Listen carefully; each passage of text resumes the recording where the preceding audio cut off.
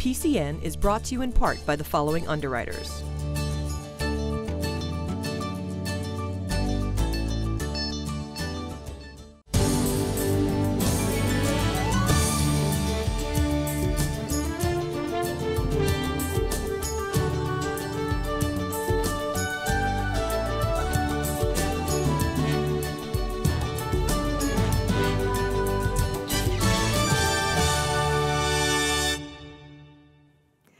Welcome to another episode of PAC TV Community News. We hope you survived this very snowy week.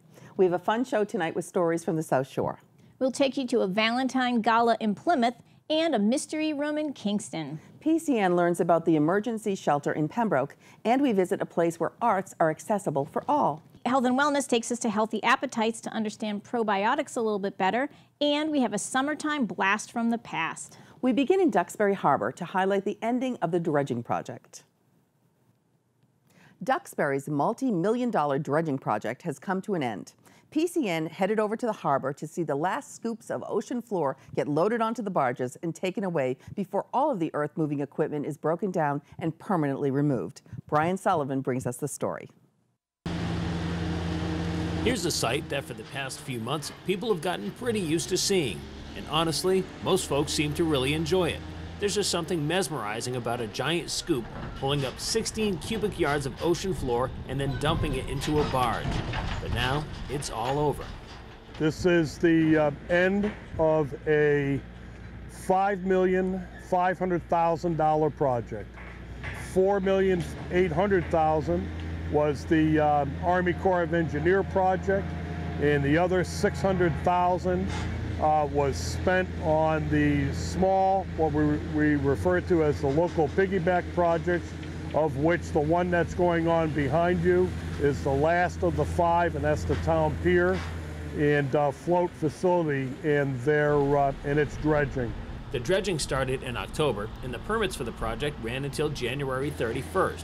Overall, there were roughly 225,000 cubic yards removed from a 21 acre anchorage and a 100 foot wide, half mile long entrance channel dredged at 8 feet for each project. For those keeping score at home, that's a lot of underwater earth and soil being moved around. So, what was the purpose? The end goal is to improve navigation. It's to uh, remove shoaling that, that uh, creates obstruction to navigation. And the most vital part of this whole program and actually why we're standing here today is that the town of Duxbury somehow, someway convinced the Army Corps of Engineers and the federal government that public safety was being jeopardized. We were not able to respond our police boats at, uh, at the time of low tide, which created a, uh, uh, a terrible situation as far as protecting our region and our residents. Once all of the equipment is gone and things return to normal, what can we expect to see?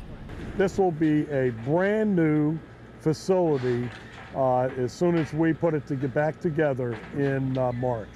So the, uh, the benefit will be immense. There'll be uh, lots of water, there'll be safe water, there'll be moorings. We have hundreds and hundreds of moorings out here that will now have water under them and uh, this is nothing more than a continuation of the infrastructure or your roadways to the water. It uh, creates public safety and it creates navigation.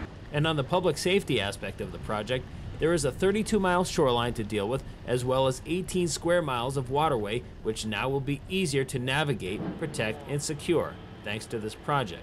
That's what makes this project so vital, enabling us to respond. Just behind me, if you look closely enough, you can see survey boats. And what they're doing is they're taking a look at the bottom of the ocean and they're relaying back to here what spots need to be dredged. But for the most part, this job is done. Reporting from Duxbury, Brian Sullivan, PAC TV Community News. Over the weekend, the Plymouth Education Foundation held their sixth annual Valentine Gala at the Pine Hills. Brian Sullivan stopped in on a cold Saturday night to get the story. Here at the pavilion at the Pine Hills Golf Club, the Plymouth Education Foundation holds its annual Valentine Gala event. For six years now, they've been hosting the event the week before Valentine's Day, and each year the crowd seems to get bigger. Right now, folks are inside enjoying the cocktail hour, doing some bidding for the silent auction, but pretty soon they'll head down the hall to the main banquet room for the award ceremony, where this year's recipient is Mary Henry. While the evening is a great chance to stave off cabin fever and get out to socialize, it also serves as the Education Foundation's top fundraising night. Bob Betters MCs the event and is president of the foundation. The Education Foundation essentially raises funds for programs that we think are innovative, different, et cetera, that are not funded by tax-based revenues. Uh, the Education Foundation gave out about $30,000 in grants in 2015, which to provide kind of a supplemental education rather than classroom-based education. Foundation Vice Chairman Anthony Shenna sees this type of organizational fundraising as the long-term answer for public education financing. I think that these educational foundations, especially the one in Plymouth, is really the future for public education. Um, if you think about successful educational systems anywhere at the college level or private high school, they all have two things in common. They have private foundation or they have money and they have an alumni network and the Education Foundation has created both of those. As the cocktail party wound down and folks headed to the banquet hall, the crowd was introduced to this year's Adele Manfredi Award recipient. Mary Henry, who has been a long-time uh, and uh, has been involved in the school system for over 40 years, is receiving the Adele Manfredi Award. And for those who know Adele, she was extremely committed uh, to education in town, so we're very excited about that. Henry received the Excellence in Education Award at her table while everyone in attendance rose from their seats to give a standing ovation. It was quite a moving moment and one that Shenna hopes will encourage more Plymouth residents to be a part of the foundation. Ultimately, we are funding some terrific opportunities in the town of Plymouth uh, for educational purposes, and we hope people want to get involved and get excited about it. From the Pine Hills in Plymouth, I'm Brian Sullivan, PAC TV Community News. Ed foundations are really important. I know I helped start the one in Pembroke, and did, they're they're awesome what they, they, do, so many wonderful programs, and, and the Valentine's Gala is a lot of fun. It's a, Yeah. definitely a who's who. Yes, yes, definitely. And we want to say congratulations to Mary. Yep, very good. award. Good job, Mary. Yep. Very good. And speaking of Valentine's, I um, got a little something for our news director, Kim Mio. Happy Julie, Valentine's Day. Thank you. Thank you. Isn't that sweet? Just you know, you like chocolates. I actually got you one too. Oh, you did? I did. Hold on a sec. Oh, how nice. Oh, great. Here we go. Oh, I don't Just to show my appreciation for you. Julie. So this is the size she got me, and that's the size I got her. I see my value. Great. Okay, I have none. Thank you, Kim. Although this winter has been relatively mild, recent bouts of weather have made it clear that winter is planning on sticking around for at least the next couple of months. For times when the weather knocks out your electricity and possibly hot water, it's nice to know that there are shelters where you can be safe, warm, and fed during weather emergencies. PCN met up with officials from Pembroke to discuss their plan of action for our all too common winter emergencies. While the first snowstorm of 2016 left us in better shape here on the South Shore than it did in many of the surrounding states on the East Coast, it did serve as a reminder that winter is officially here and there are likely to be more storms before this season is over. The town of Pembroke dodged a pretty big bullet after this first major storm of the winter because nobody lost power.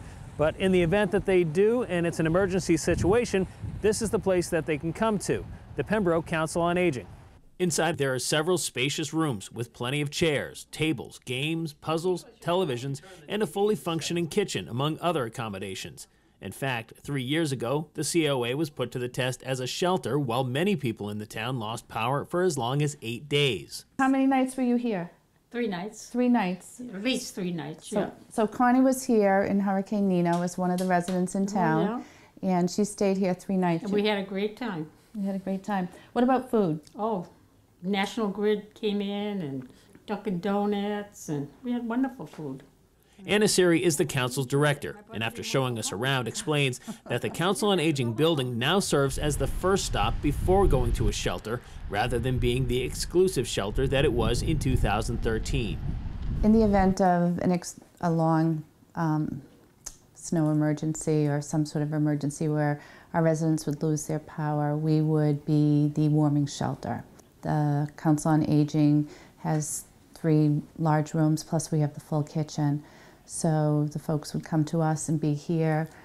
Um, and then we would partner with the library next door, who will be the shelter itself. If there's a chance you'll be spending a night or two in the shelter, it's good to know what to bring with you. Fire Chief Mike Hill. Well, they want to be prepared for about 40, 48 hours. Um, so if you have specific medical problems, you want to make sure you have your medicines for that amount of time. Uh, anything else that you might need. Uh, it's going to encompass you being comfortable for that, that amount of time, so maybe change of clothes. As co director of the emergency management team in Pembroke, he's also on call to help those who may not be able to make it to the shelter on their own. Should we find um, elderly couple who has a medical problem that doesn't need to go to the hospital but should go to the shelter, well, we'll certainly transport them in the ambulance or take a cruiser or a brush truck, and you know, if the, the snow is too deep, and, and get them from their home to the shelter. The library shelter has plenty of space, and with the kitchen at the COA, people in need should be in pretty good hands. But of course, there are limitations.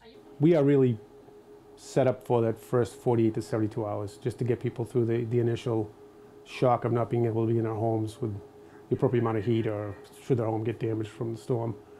Um, after that, the Red Cross kicks in, all the regional NEMA uh, FEMA shelters and Massachusetts Emergency Management shelters will take over. And while the 48 to 72 hour time frame is the threshold according to Chief Hill, it's possible that the shelter can go for longer thanks to this. Within the past month, the Pembroke Public Library received this brand new generator, so in the event of a storm where people do lose their power, this thing will keep the entire place running. Reporting from Pembroke, Brian Sullivan for PAC TV Community News. Back in the day, many parents used to make their kids take violin lessons, oftentimes with minimal to no results. Fast forward to modern day, and we're seeing a different set of circumstances. In fact, the, the, demand among kids to learn to play instruments has grown, but the affordability has become the obstacle. Donna and Tom Hovey are trying to change all that by creating a nonprofit group that will allow anyone, regardless of finances, a chance to take part in the arts. We, we've been teaching lessons um, after school programs for years. Um, whatever school I was teaching at, you know, my wife would, would be teaching lessons there. And we always um, enjoyed teaching the lessons to kids, um, giving them that opportunity after school in an after school setting that they didn't get during the school day. Uh, especially the string instruments, a lot of schools don't have string programs. And so we wanted to share that um, opportunity um, in a different format here because we wanted to do it for the community where we live. And we wanted to um, basically give as many kids in our, in our community the chance to have that, that music education. Well, this class uh, gives us the, um, especially as we've been working on my wife's method, um, the validation of what we've been working on our whole careers. We've been teaching music for, for many, many years.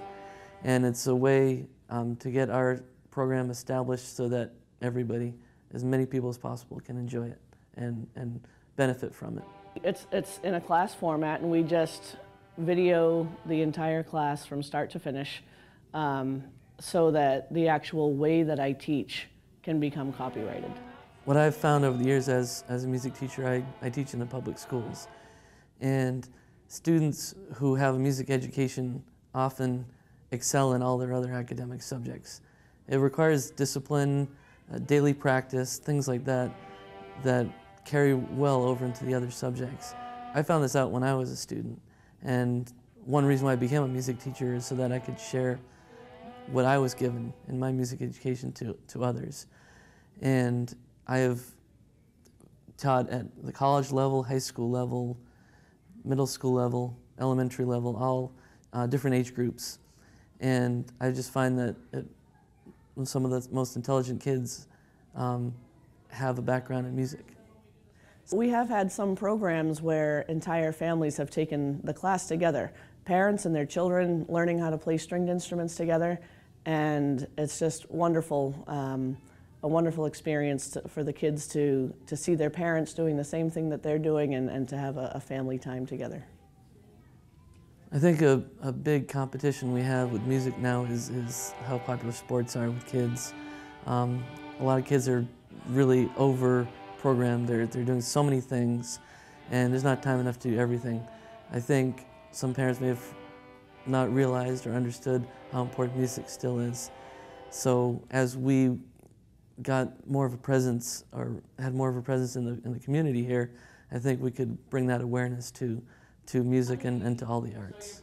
I'm hoping that they gain enough skills where they can learn how to make music on their own. They're able to read music, communicate with others, form their own groups with their friends, and, and just love music. Not everyone is going to go become a music teacher or a professional musician, but if they have that love of music, um, it's so important. I have talked to so many adults who say, I quit playing trumpet when I was in seventh grade, and I sure wish I hadn't.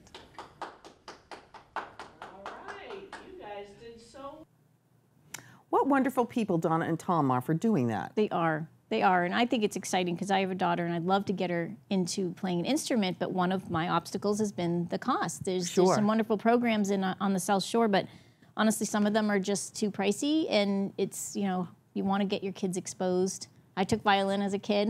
I actually kind of liked it, but um, Ooh. yeah, it was good. Secrets that we know now about Kim. Exactly. Kingston Collection has been making many changes with exciting new additions. The mall seems to be looking to be a destination for entertainment on the South Shore. PCN stopped into one of the newest and most unique additions.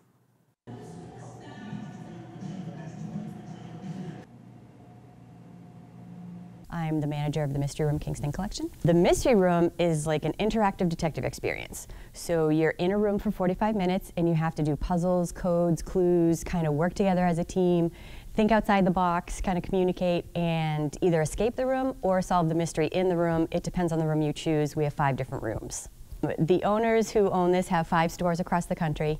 Uh, we have the, this one, uh, we're the only one in New England. We have two in New York, one in Georgia, and one in Texas. Well, I actually really liked it because it was a fun, interactive experience, you know, that I came with my friends and my family. So if you're bored, you can just go with your friends, but it's also to get out of the house.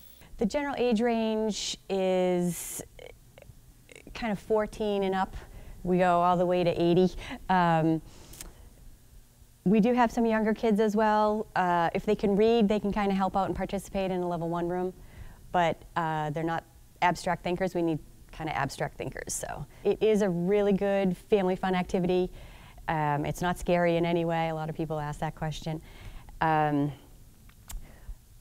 it's good for team building, corporate team building. Um, it's just a good way to get your brain moving and communicate. Pretty, pretty cool.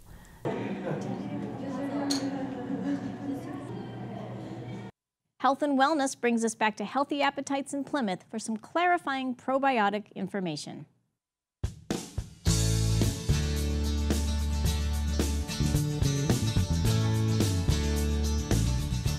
Hi, I'm Jeff Hills from Healthy Appetites. This is the PCN Health and Wellness segment. I want to talk to you about your gut. Not that part of your anatomy that might be creeping over your waistline. I want to talk to you about your intestines and the beneficial bacteria that live in your intestines. One of the questions we get asked more than any other is, what's the difference between acidophilus and probiotic? Well, up until the year 2000, most of the supplements on the market were just acidophilus supplements. And most of the people who were taking them were taking them to offset the effects of antibiotics.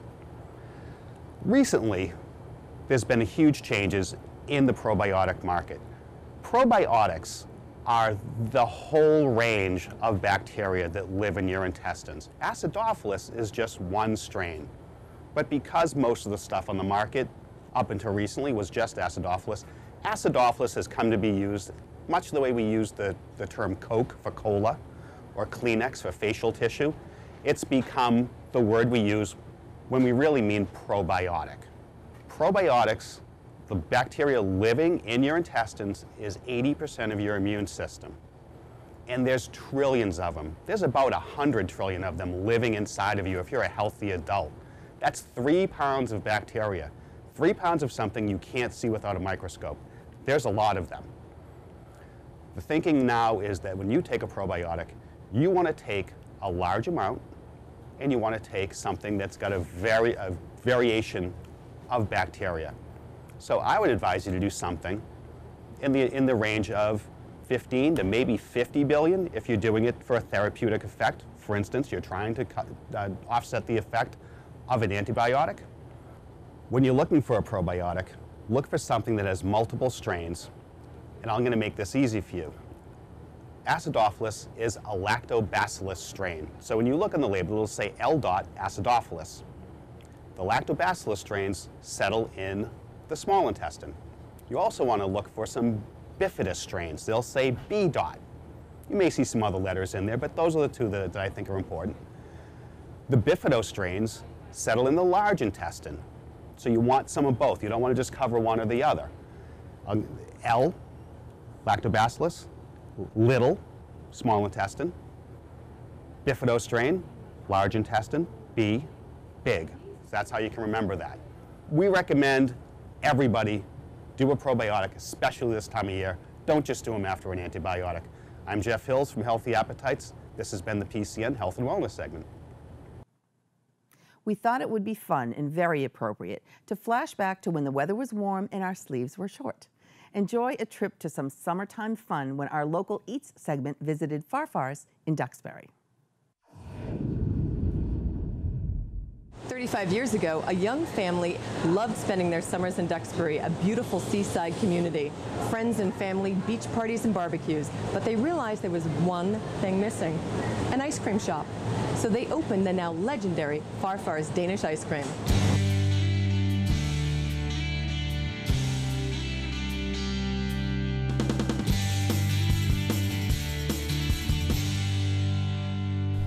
Are here with the woman who makes ice cream dreams come true, Andra Carlton. Andra, I have been a fan of your restaurant for years, but I've always been curious, where does the name Farfars come from? Farfars is the Danish word for grandfather, and my dad is the person who taught us how to make our ice cream, and he was Farfar to the grandchildren because of his Danish heritage. Now, your dad is also, and your family is also ice cream royalty. Right. Tell me a little bit about your history. Dad um, worked for H.P. Hood in Boston one of his uh, first jobs with H.P. Hood there was um, working in the base or mix department, and he totally changed the formula for the base that we use. We use it today. I mean, this was back in the 40s that he was working with H.P. Hood. And it's the same recipe. I've been told this by a number of people that are still with H.P. Hood. Now, your ice cream is a Danish ice cream. Tell me what is different about your ice cream than other ice creams we might be able to sample through the summer. Our ice cream is made right here on location and we use a base, the one my dad started us out with, and it has a very high cream base to it. And we kind of compared it to the fact that Danish food is very creamy, very rich, very delicious, and their dessert, uh, desserts especially. I think we need to go sample some of these ice cream flavors. That would be great. Let's go in.